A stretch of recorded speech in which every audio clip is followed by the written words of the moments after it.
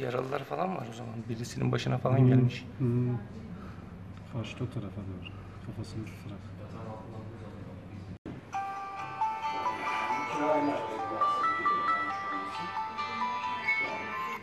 Alo. Alo. Efendim, efendim. Ha? Ha?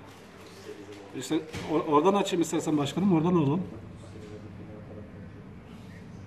Ben bilgi işlemdeyim şimdi. Ha? Tamam. Ha? Tamam, tamam başkanım.